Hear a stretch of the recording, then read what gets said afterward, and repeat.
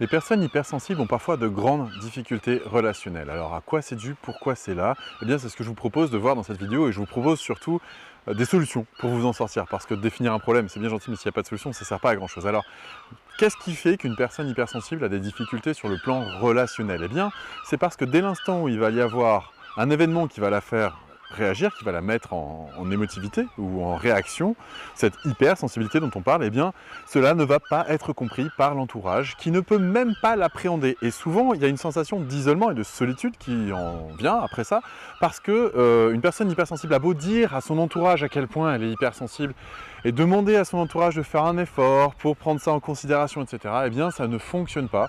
Pourquoi? Pour la simple raison que la personne qui reçoit ce message de la part de l'hypersensible, c'est-à-dire la limite où est-ce qu'elle se trouve, ou alors la bienséance, ou, en fait ce qui pourrait convenir à cette personne hypersensible, eh bien, cette personne-là qui reçoit cette information-là ne peut même pas appréhender à quel point il est possible de vivre dans cette hypersensibilité.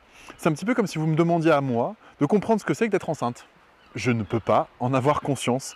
C'est quelque chose que je ne connaîtrai jamais. Et eh bien de la même manière, une personne qui est hypersensible, si elle demande à son entourage de prendre en compte son hypersensibilité, n'y arrivera pas et se sentira encore plus dans l'impasse parce qu'elle aura déjà fait l'effort, ce qui est difficile et qui n'est pas toujours le cas, l'effort de communiquer avec son entourage et cette communication n'aboutira à rien. Donc une sensation d'isolement encore plus violente parce qu'elle aura tenté la chose, elle aura tenté le dialogue. Elle aura tenté de, faire comprendre ce qu'elle, elle vit à son entourage et bah, malheureusement, euh, ça ne fonctionne pas. Alors, quelles sont les solutions qu'on fait dans ces moments-là quand on se rend compte que d'un point de vue social c'est compliqué? Souvent, on s'isole on se met dans ce que j'appelle un bunker émotionnel. Pour éviter d'être activé, pour éviter que ces réactions euh, fortes euh, et, intenses se déclenchent, eh bien on va s'isoler dans un monde dans lequel on se sent a priori en sécurité. Oui, mais ça nous pose dans un isolement social qui est difficile à vivre et surtout qui est impossible parce que l'être humain a besoin, mais c'est un besoin fondamental de connexion aux autres.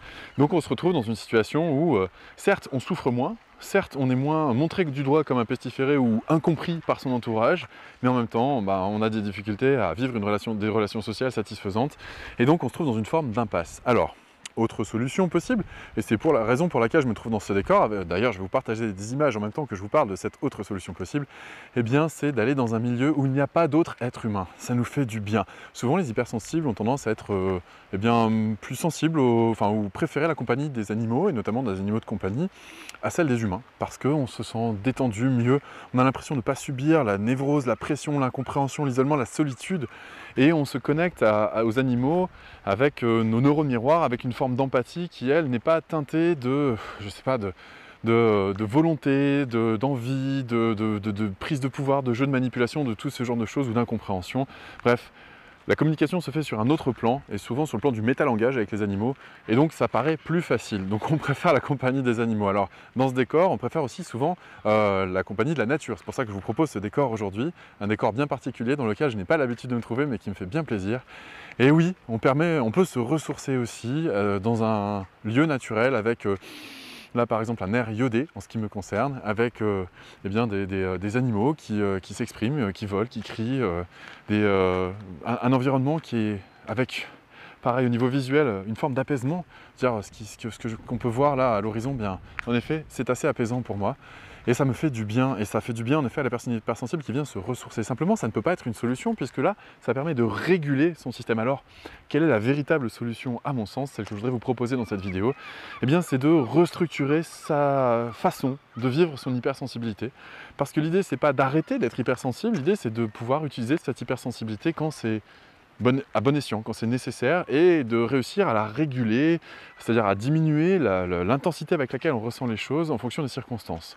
Alors pour ça, je propose une méthode qui permet de développer la conscience de soi et cette conscience de soi, elle est souvent à l'origine de cette... Euh, enfin, de développer cette conscience de soi. Ce manque de, conscience de soi est souvent à l'origine de euh, cette difficulté de communiquer avec l'autre parce qu'on a aussi parfois du mal à trouver les mots.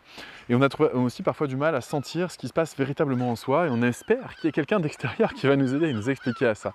Alors, cette méthode s'appelle la méthode des 4C. Vous pouvez la trouver en cliquant sur le lien qui est au-dessus et commencer à explorer cet univers intérieur pour pouvoir commencer à amorcer une nouvelle approche, une nouvelle manière de vivre votre hypersensibilité si c'est le cas.